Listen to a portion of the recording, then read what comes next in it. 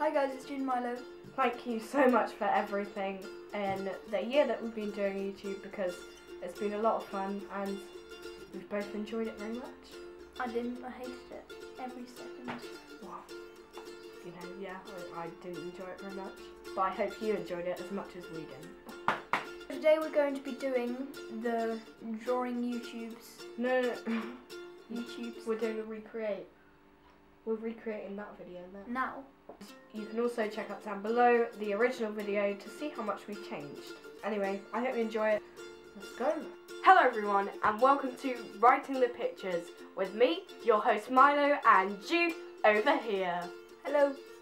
To introduce ourselves, we're going to be doing a series of questions. So basically what we're going to do No! We're going to do is whatever Milo writes down on his sheet, uh, he asks me whatever I write down on my sheet, I ask him. I, I can't. Oh, I can't. Oh. First question. Someone asks you out on a date. Yeah. What do you say? Yeah? Next question. Last time you were weird.